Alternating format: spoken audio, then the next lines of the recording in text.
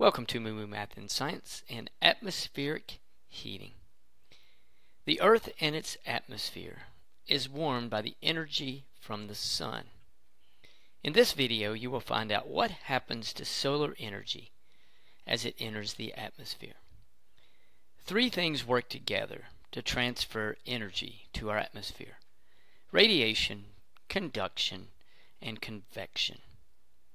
Radiation is the transfer of energy as electromagnetic waves. Although the sun radiates a huge amount of energy, the Earth only receives a tiny fraction of this energy. But this small fraction of energy is enough to drive the weather cycle and sustain life on Earth.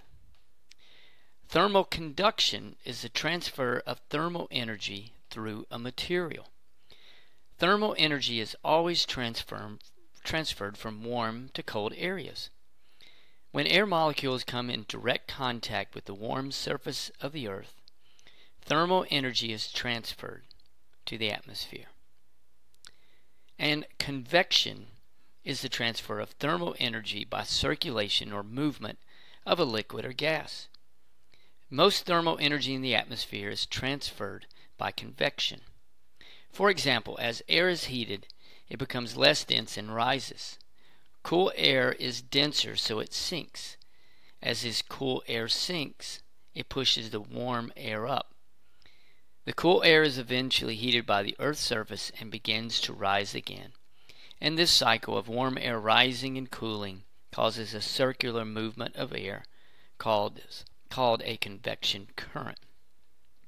Now, as this energy from the sun enters the atmosphere, several things happen. First, about 25% is scattered and reflected by the clouds and air.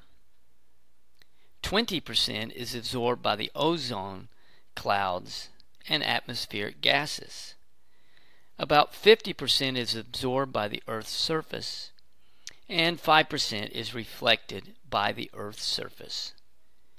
So all of this working together, the radiation, the conduction, the convection, and then the sun being either reflected, scattered, or absorbed, causes atmospheric heating.